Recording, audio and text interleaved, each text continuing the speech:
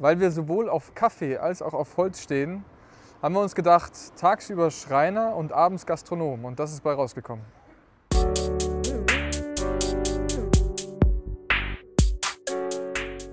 Hi, ich bin's Marco von Holzliebling. Ja, und herzlich willkommen bei uns im Holzlager. Kommt ruhig rein. Eigentlich wollten wir erst im September eröffnen, jetzt haben wir August, aber es gab so das ein oder andere Event hier in Wasserburg, das wollten wir unbedingt mitnehmen. Deswegen habe ich extrem Stress gemacht. Jeder hat nochmal Vollgas gegeben, hat das Beste rausgeholt, damit wir den Laden hier, sag ich mal, zu 90 Prozent jetzt ready haben. Und ja, den möchte ich auf jeden Fall euch einmal zeigen und deswegen gehen wir jetzt halt gleich Step by Step durch die einzelnen äh, Ecken hier aus diesem Laden. So Marco, sag mal, wo geht's hin? Das Holzlager.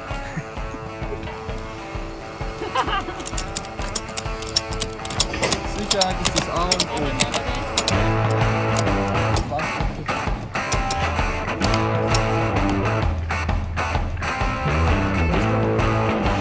Wird schon halten.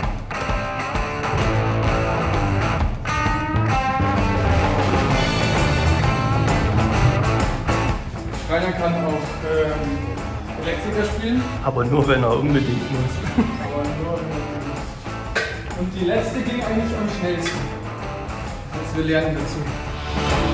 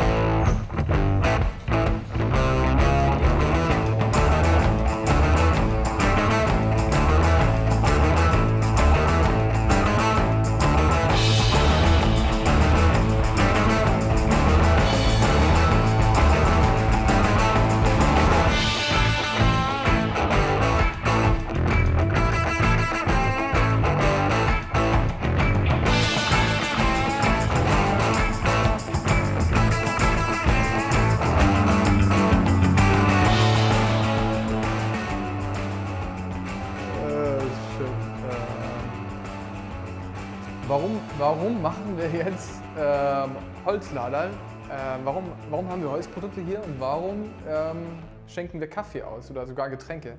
Ähm, ja, das ist ein Konzept, das habe ich mir überlegt gehabt, weil ich schon immer, also ich und meine Frau Marlene, wir wollten schon immer mal einen Café besitzen. Genau, und ähm, ja, durch viel Leidenschaft sind wir zu diesem Thema Holz gekommen. Aber dieser Wunsch, ein Café, sag ich mal, zu haben, Leute zu bewirten, ähm, äh, und zwar mit einem, mit einem Genuss irgendwie die Leute zum Lächeln zu bringen, ja, der Wunsch, der war schon immer noch da. Und dann haben wir uns gedacht, Mensch, eigentlich ist es doch ein ziemlich cooles Konzept, weil es gibt überall in Deutschland gibt es auch Läden, wo du Holzprodukte kaufen kannst. Die stellen es zwar oftmals selber nicht her, aber du kannst irgendwo Holzprodukte kaufen. Aber ich habe mir gedacht, wenn du Holzprodukte hast, die hochwertig sind, die beratungsintensiv äh, sind, dann machst du das doch am besten mit einem Café. Dann nimmst du dir doch Zeit, du versuchst dir eine Blaupause irgendwie zu schaffen, dass die Leute hier, sag ich mal, durch die, durch, durch die Bretter hier schauen können und sich einfach Zeit nehmen. Und das machst du doch am besten mit einem Getränk, das machst du mit einem kleinen Snack. Und daraus ist die Idee ähm, ich mal, geboren, dass wir ein äh, Holzladen haben, wo es sowohl unsere Produkte gibt, absolute Unikate gibt, aber eben vor allem auch diesen Gastronomie-Part. Und ähm, ja, so ist das äh, Konzept entstanden. Und ähm, deswegen äh, tagsüber Schreiner und abends Gastronom. So, jetzt führe ich euch aber erstmal durch den Laden ne, und erzähle euch mal so ein bisschen, ähm, was wir hier ausstellen, was wir dann noch selber in der Inneneinrichtung gemacht haben. Und im Übrigen jedes Mal, wenn es um ein Produkt geht, was, was ihr seht, wo wir schon mal ein Video gehabt haben, da wird der Markus euch das verlinken, dass ihr euch die Herstellungsprozesse da irgendwie anschauen könnt. Ja, fangen wir an mit unserem Schaufenster. Schaufenster ist so ähm, ja, für ein Ladengeschäft so das Wichtigste. Das heißt, die Leute, die draußen schauen oder stehen und nach drinnen schauen, die sehen unser, unsere Auslage. Ähm, ja, alle möglichen Bretter, Ähm, hier haben wir zum Beispiel eins, das ist äh, gestern erst fertig geworden, ein schönes Schachbrettmuster äh, mit der Erle und dem Ahorn, mega geil. Äh, ansonsten jede Menge kleinere Brotzeitbretter, ähm, große Schneidebretter, absolute Unikate, hier ein richtig großes Birnenschneidebrett. Und da versuchen wir die Leute sozusagen ähm, davon zu überzeugen, kommt hier rein, ja, weil hier drin gibt es noch coolere Sachen. So, und was ihr hier seht, sind ganz, ganz viele Dinge, die wir auch für die Inneneinrichtung ja selber machen. Also Wandregale haben wir ganz normal im Sortiment. Und hier haben wir jetzt eins mit 3,50 Meter. Ähm, richtig schön rustikal, das ist eine antike Eiche gewesen, haben wir überall so kleine Wurmlöcher und die macht sich hier einfach richtig, richtig schick.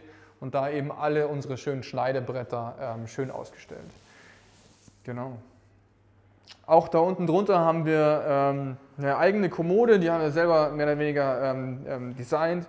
Wir stehen, oder ich selber stehe total auf diesen Vintage-Style, dass du hier rohen Stahl hast, der ist auch nicht pulverbeschichtet oder nicht lackiert, sondern wirklich Rohstahl. Da siehst du hier überall die Schweißnähte, die hier weggeflext worden sind und die massive, schöne, äh, geölte Eiche.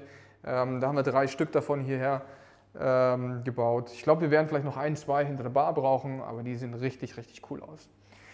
Genau, ähm, ansonsten hier ist so der Gastraum. Aktuell spielt sich zwar alles mehr vor dem Laden, weil wir haben äh, vor dem Laden haben wir auch noch einige Sitzplätze und wir haben einfach ja, Hochsommer und Wasserburg ist ohnehin die nördlichste Stadt Italiens. Ähm, aber hier drin, wenn es mal kalt ist, haben wir hier drin unseren Gastraum. Ihr seht schon unsere Baumscheibentische. Hier haben wir ganz, ganz viele verschiedene Holzarten auch, angefangen von der Kirsche. Da haben wir einen Nussbaum, da haben wir einen Mammutbaum, da ist nochmal eine Kirsche und auch die Holzklötze, wo man sich drauf sitzen kann, äh, von Eiche, Buche. Ähm, also richtig schöne Stücke, wo die Leute hier einfach verweilen können. Ja. Und ähm, hier ist unser allererstes, ähm, äh, der erste Blickfang, wenn die Leute hier reinkommen. Richtig schöne Schneidebretter, angefangen von Stirnholz, äh, Eiche, Nusskombi, Nussahorn. Hier ein europäischer Nuss, den gibt es bei uns gar nicht im Shop. Ja. Das sind absolute Unikate teilweise, die wir so gar nicht im Shop haben.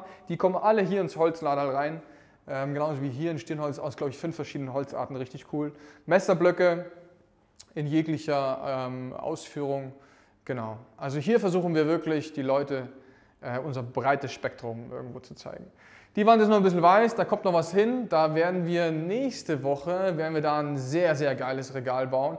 Genauso wie der Stahl und die Eiche, also richtig geilen Industrial Style. Und dann werden dann weitere Produkte irgendwie von Teigrollen, die wir ja selber herstellen, über kleinere Produkte, die werden wir alle hier mehr oder weniger positionieren. So, und ich habe euch ja was über das Gastronomiekonzept erzählt. Deswegen kommt mal ein Stückchen näher, denn da hinten ähm, beginnt dann der Gastropart. Und äh, ich weiß nicht, ich gehe mal hier von, von der Seite. Ihr seht schon selber, es gibt Getränke ähm, und es gibt Kaffee. Und ähm, bei uns gibt es aber nicht Kaffee auf, per Knopfdruck, sondern wir haben eine richtig italienische Siebträgermaschine, wie man sie aus Italien oder aus richtig guten Barista einfach kennt. Also da haben wir uns nicht lumpen lassen, weil ähm, du hast hochwertige Holzprodukte, dann sollst du auch richtig hochwertigen Kaffee haben.